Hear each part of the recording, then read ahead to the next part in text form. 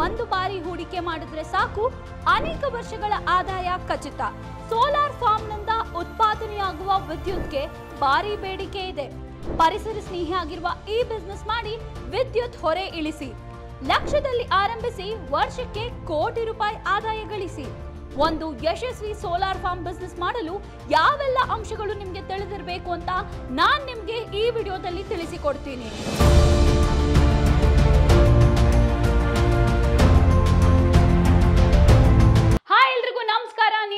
ನೀವು ನೋಡ್ತಾ ಇದ್ದೀರಾ ಫ್ರೀಡಮ್ ಬಿಸ್ನೆಸ್ ಕನ್ನಡ ಚಾನೆಲ್ ನಾನು ಗಂಗಾ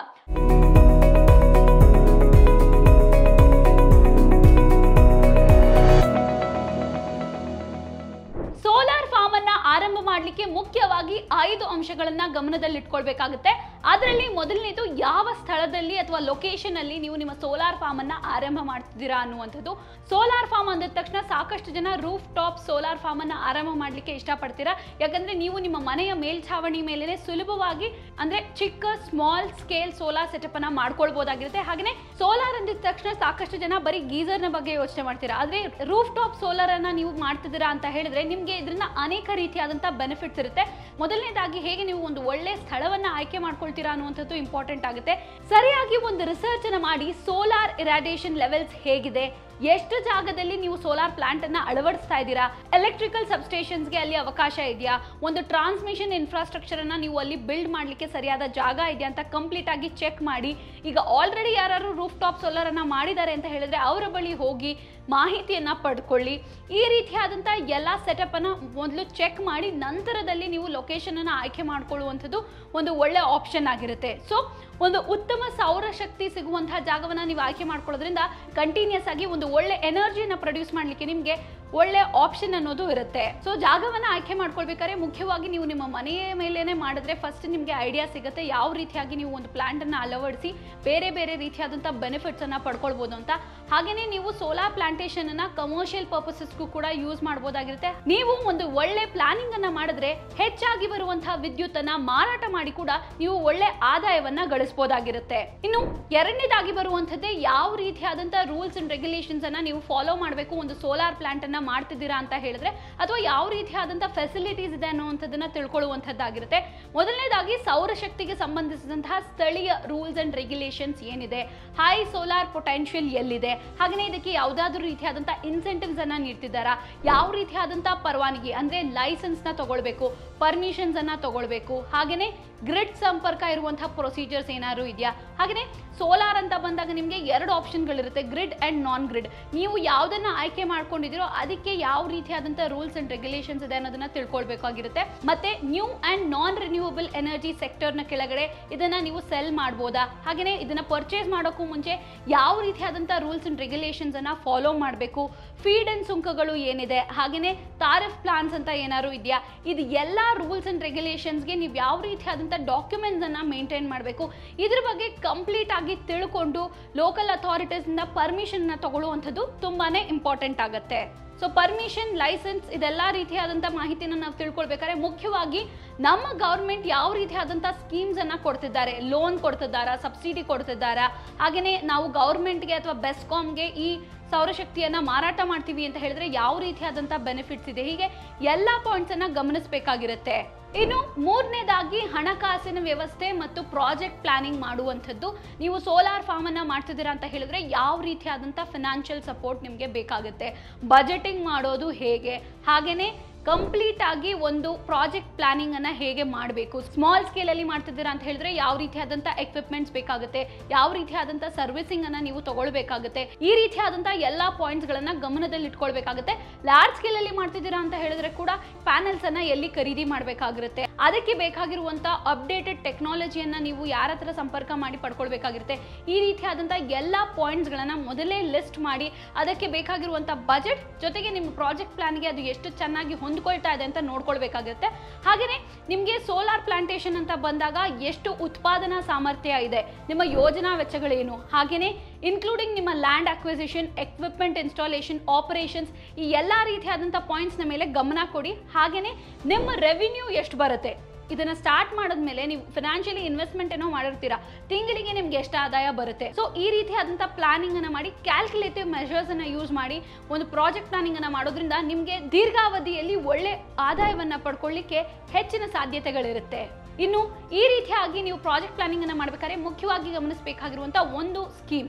ಕೇಂದ್ರ ಸರ್ಕಾರ ಸೌರ ಗೃಹ ಯೋಜನೆ ಅಂದ್ರೆ ನವ ಮತ್ತು ನವೀಕರಿಸಬಹುದಾದಂತ ಇಲಾಖೆ. ಯಾವ ರೀತಿಯಾದಂತಹ ಫೆಸಿಲಿಟೀಸ್ ಅನ್ನ ಅವರು ನೀಡ್ತಿದ್ದಾರೆ ಅನ್ನುವಂಥದ್ದನ್ನ ನೀವು ತಿಳ್ಕೊಳ್ಬೇಕಾಗುತ್ತೆ. ನಿಮ್ಮ ಮನೆಯ ಬಳಿಯೇ ಇರುವಂತಹ ಬೆಸ್ಕಾಮ್ಗೆ ಹೋಗಿ ನೀವು ಇದರ ಇನ್ಫಾರ್ಮೇಶನ್ ಅನ್ನ ಪಡ್ಕೊಳ್ಬಹುದು ಬೆಸ್ಕಾಮ್ನ ಅಫಿಷಿಯಲ್ ವೆಬ್ಸೈಟ್ನಲ್ಲಿ ನೀವು ಅಪ್ಲೈ ಮಾಡಿ ತಿಳ್ಕೊಳ್ಬಹುದಾಗಿರುತ್ತೆ ನಿಮ್ಮ ಮನೆಯ ಮೇಲೆ ನೀವು ಹೇಗೆ ರೂಫ್ ಟಾಪ್ ಸೋಲಾರ್ ಅನ್ನ ಅಳವಡಿಸಿಕೊಂಡು ಇಂತಿಷ್ಟು ಕಿಲೋ ವ್ಯಾಟ್ ಅಂತ ವಿದ್ಯುತ್ ಅನ್ನ ಉತ್ಪಾದನೆ ಮಾಡಿ ನಿಮ್ಮ ಮನೆಗೆ ಸಾಕಾಗುವಷ್ಟನ್ನ ಇಟ್ಕೊಂಡು ಮಿಕ್ಕ ಉಳಿದ ವಿದ್ಯುತ್ ಅನ್ನ ಸೆಲ್ ಮಾಡೋದು ಹೇಗೆ? ಅದರಿಂದ ನಿಮ್ಗೆ ಎಷ್ಟು ಲಾಭ ಬರುತ್ತೆ ಅನ್ನೋದನ್ನ ಕಂಪ್ಲೀಟ್ ಆಗಿ ನಿಮ್ಮ ಪ್ರಾಜೆಕ್ಟ್ ಪ್ಲಾನ್ ಅಲ್ಲೇ ಪ್ಲಾನ್ ಮಾಡಬಹುದಾಗಿರುತ್ತೆ ಸೌರಶಕ್ತಿ ಉತ್ಪಾದನೆಯಲ್ಲಿ ನಮ್ಮ ಭಾರತ ನಾಲ್ಕನೇ ಸ್ಥಾನದಲ್ಲಿದೆ. ಹಾಗೇನೆ ಸೌರಶಕ್ತಿಯನ್ನ ಹೆಚ್ಚಾಗಿ ಉತ್ಪಾದನೆ ಮಾಡಬೇಕು, ಹೆಚ್ಚು ನಾವು ಪರಿಸರ ಸ್ನೇಹಿ ಆಗಬೇಕು ಅಂತ ನಮ್ಮ ಭಾರತ ಸರ್ಕಾರ ಅನೇಕ ರೀತಿಯಾದಂತಹ ಸ್ಕೀಮ್ಗಳನ್ನ ಇಂಟ್ರೊಡ್ಯೂಸ್ ಮಾಡಿದ್ದಾರೆ. ಸೋಲಾರ್ ಪಾರ್ಕ್ ಸ್ಕೀಮ್ ಆಗಿರ್ಬೋದು C P S U scheme defence scheme ಹಾಗೆಯೇ ಕ್ಯಾನಲ್ ಬ್ಯಾಂಕ್ ಸ್ಕೀಮ್ ಹೀಗೆ ಈ ರೀತಿಯಾದಂಥ ಅನೇಕ ಸೋಲಾರ್ ಸ್ಕೀಮ್ಗಳನ್ನು ಲಾಂಚ್ ಮಾಡಿ ಗ್ರಿಡ್ ಮತ್ತು ನಾನ್ ಗ್ರಿಡ್ ಟೆಕ್ನಾಲಜಿಯನ್ನು ಯೂಸ್ ಮಾಡಿ, ಒಳ್ಳೆ ಸೋಲಾರ್ ರೂಫ್ ಟಾಪ್ ಸ್ಕೀಮ್ಸನ್ನು ಜನರಿಗೆ ನೀಡಬೇಕು, ಹೆಚ್ಚಿನ ಜನ ಇದರ ಉಪಯೋಗ ಪಡ್ಕೊಳ್ಬೇಕು ಅಂತ ಬೆಸ್ಕಾಮ್ ಜೊತೆಗೆ ಕೈಗೂಡಿಸಿ ಒಳ್ಳೆ ಒಳ್ಳೆ ಪ್ಲಾನ್ಸ್ ಅನ್ನ ಕೂಡ ಲಾಂಚ್ ಮಾಡ್ತಿದ್ದಾರೆ. ಒಂದು ಸೋಲಾರ್ ಪ್ಲಾಂಟ್ ಅನ್ನ ಆರಂಭ ಮಾಡ್ತೀರಾ ಅಂತ ಹೇಳಿದ್ರೆ ಯಾವ ರೀತಿಯಾದಂಥ ಇಂಜಿನಿಯರಿಂಗ್ ಸಪೋರ್ಟ್ ನಿಮಗೆ ಬೇಕು? ಕನ್ಸ್ಟ್ರಕ್ಷನ್ ಮಾಡಲಿಕ್ಕೆ ಯಾವೆಲ್ಲ ರೂಲ್ಸ್ ಅಂಡ್ ರೆಗ್ಯುಲೇಷನ್ಸ್ ಅನ್ನ ಫಾಲೋ ಮಾಡಬೇಕು? ಮೆಥಡ್ಸ್ ಅನ್ನ ಅಳವಡಿಸ್ಕೊಳ್ಬೇಕು ಅಂತ ತಿಳಿಸ್ಕೊಡ್ತೀನಿ. ಸೋಲಾರ್ ಫಾರ್ಮ್ ಅನ್ನ ಯಾವ ರೀತಿಯಾಗಿ ನೀವು ಡಿಸೈನ್ ಮಾಡ್ತಿದ್ದೀರಾ? ಹಾಗೇನೆ ಅನುಭವಿ ಆಗಿರುವಂತಹ ಇಂಜಿನಿಯರ್ಸ್ನ ಸಹಾಯವನ್ನು ಪಡ್ಕೊಂಡ್ರೆ ನಿಮಗೆ ಒಳ್ಳೆ ಒಳ್ಳೆ ಬೆನಿಫಿಟ್ಸ್ ಇರುತ್ತೆ. ಗುಣಮಟ್ಟದ ಒಳ್ಳೆ ಕ್ವಾಲಿಟಿ ಸೌರ ಫಲಕಗಳು ಅಂದರೆ ಪ್ಯಾನಲ್ಸನ್ನು ಎಲ್ಲಿ ತಗೊಳ್ಬೇಕು ಇನ್ವರ್ಟರ್ಗಳು ಸಿಸ್ಟಮ್ ಘಟಕಗಳು ಹಾಗೆಯೇ ಹೆಚ್ಚಿಗೆ ಆಗಿ ಉತ್ಪಾದನೆ ಆಗ್ತಿರುವಂಥ ಸೋಲಾರ್ ಪವರನ್ನು ಯಾವ ರೀತಿಯಾಗಿ ಬ್ಯಾಲೆನ್ಸ್ನಲ್ಲಿ ಇಡಬೇಕು ಹಾಗೆಯೇ ಟೆಕ್ನಾಲಜಿಕಲಿ ಅಪ್ಡೇಟ್ ಆಗಿರುವಂತಹ ಸೋಲಾರ್ ಪ್ಯಾನೆಲ್ಸ್ ಅನ್ನ ಎಲ್ಲಿ ಖರೀದಿ ಮಾಡಬೇಕು? ಯಾವ ರೀತಿಯಾಗಿ ಅದನ್ನ ಕ್ಲೀನ್ ಮಾಡಬೇಕು? ಯಾವ ರೀತಿಯಾದಂತಹ ಪೊಸಿಷನ್ಸ್ನಲ್ಲಿ ಅದನ್ನ ಇಟ್ಟರೆ ಒಳ್ಳೆ ರೀತಿಯಾದಂತಹ ಪವರ್ ಅನ್ನ ನಾವು ಎಕ್ಸ್ಟ್ರಾಕ್ಟ್ ಮಾಡಬಹುದು ಈ ರೀತಿಯಾದಂಥ ಎಲ್ಲ ಪಾಯಿಂಟ್ಸ್ಗಳನ್ನ ನಿಮಗೆ ಇಂಜಿನಿಯರ್ಸ್ ನಿಮ್ಮ ಸೋಲಾರ್ ಪ್ಲಾಂಟ್ ಅನ್ನ ಕನ್ಸ್ಟ್ರಕ್ಟ್ ಮಾಡಬೇಕಾದ್ರೆ ತಿಳಿಸ್ಕೊಡ್ತಾರೆ. ಸೋಲಾರ್ ಪ್ಲಾಂಟ್ ಅನ್ನ ಕನ್ಸ್ಟ್ರಕ್ಷನ್ ಮಾಡ್ತಿದ್ದೀರಾ ಅಂತ ಹೇಳಿದ್ರೆ ಚಿಕ್ಕ ಜಾಗದಲ್ಲಿ ಮಾಡ್ತಿರ್ಬೇಕಾದ್ರೆ ಯಾವ ರೀತಿಯಾದಂತಹ ಮೆಷರ್ಸ್ ಅನ್ನ ತಗೊಳ್ಬೇಕು ಅಂತ ಕರೆಕ್ಟ್ ಆಗಿ ಇಂಜಿನಿಯರ್ ಸಜೆಷನ್ಸ್ ಅನ್ನ ತಗೊಂಡು ಮಾಡಿ ಹಾಗೆಯೇ ಕಮರ್ಷಿಯಲ್ ಪರ್ಪಸಸ್ಗೆ ಮಾಡ್ತಿದ್ದೀರಾ ಅಂತ ಹೇಳಿದ್ರೆ ಬೇರೆ ಬೇರೆ ರೀತಿಯಾದಂಥ ರೂಲ್ಸ್ ಅಂಡ್ ರೆಗ್ಯುಲೇಷನ್ಸ್ ಇರುತ್ತೆ.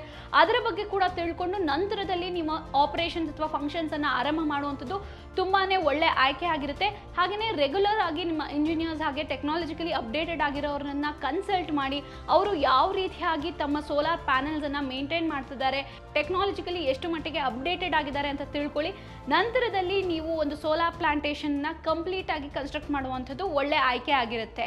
ಇನ್ನು ಐದನೇದಾಗಿ ವಿದ್ಯುತ್ ಖರೀದಿ ಒಪ್ಪಂದಗಳು ಮತ್ತೆ ಯಾವ್ಯಾವ ರೀತಿಯಾದಂಥ ಇನ್ಕಮ್ ಸ್ಟ್ರೀಮ್ಸ್ ಅನ್ನ ನೀವು ಕ್ರಿಯೇಟ್ ಮಾಡ್ಕೊಳ್ತೀರಾ ಅನ್ನುವಂಥದ್ದಾಗಿರುತ್ತೆ.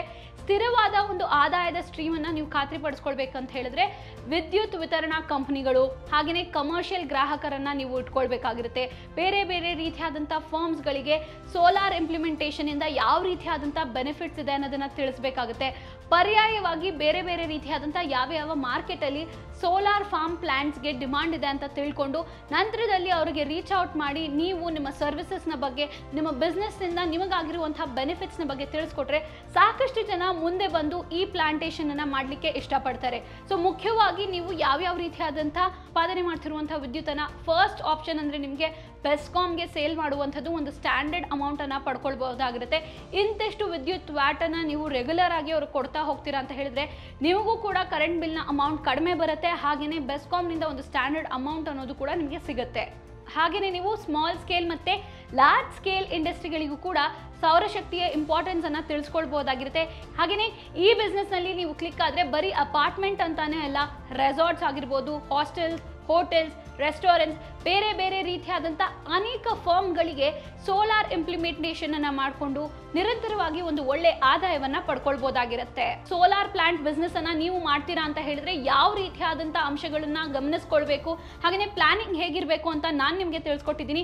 ಇದ್ರ ಬಗ್ಗೆ ಇನ್ನಷ್ಟು ಹೆಚ್ಚಿನ ಮಾಹಿತಿ ಬೇಕು ಎಕ್ಸ್ಪರ್ಟ್ ಅಂತ ಕಲಿತು ನೀವು ಕೂಡ ಈಗಲೇ ಬಿಸ್ನೆಸ್ ಆರಂಭಿಸಬೇಕು ಅಂತ ಹೇಳಿದ್ರೆ ಈ ಕೂಡಲೇ ಫ್ರೀಡಮ್ ಆಪ್ ಅನ್ನ ಡೌನ್ಲೋಡ್ ಮಾಡಿ ಫ್ರೀಡಮ್ನಲ್ಲಿ roof top solar farming course ಅನ್ನ ತಪ್ಪದೆ ವಾಚ್ ಮಾಡಿ ಕೋರ್ಸ್ನಲ್ಲಿ ನಿಮಗೆ ಇನ್ವೆಸ್ಟ್ಮೆಂಟ್ ಹಿಡಿದು ಕಂಪ್ಲೀಟ್ ಆಗಿ ಹೇಗೆ ಒಂದು ಬಿಸ್ನೆಸ್ ಅನ್ನ ಆರಂಭಿಸಬೇಕು ಅಂತ ಎಕ್ಸ್ಪೀರಿಯನ್ಸ್ ಇರುವಂತಹ ಮೆಂಟರ್ಸ್ಗಳು ತಿಳಿಸಿಕೊಡ್ತಾರೆ. ಹಾಗೆ ಇದೇ ರೀತಿಯಾದಂತಹ ಹೆಚ್ಚಿನ ಬಿಸ್ನೆಸ್ ಕಾಂಟೆಂಟ್ ಬಗ್ಗೆ ತಿಳ್ಕೊಳ್ಬೇಕು ಅಂತ ಹೇಳಿದ್ರೆ ಈ ಕೂಡಲೇ ಫ್ರೀಡಮ್ ಬಿಸ್ನೆಸ್ ಕನ್ನಡ ಚಾನೆಲ್ ಅನ್ನ ಸಬ್ಸ್ಕ್ರೈಬ್ ಮಾಡಿ, ಈ ವಿಡಿಯೋನ ಹೆಚ್ಚಿನ ಜನರಿಗೆ ತಲುಪಿಸಿ ಲೈಕ್ ಮಾಡಿ ಶೇರ್ ಮಾಡಿ ಕಮೆಂಟ್ ಮಾಡೋದನ್ನ ಮರಿಬೇಡಿ. ಧನ್ಯವಾದಗಳು. ನಾನು ನಿಮಗೆ ಮುಂದಿನ ವಿಡಿಯೋದಲ್ಲಿ ಸಿಗ್ತೀನಿ.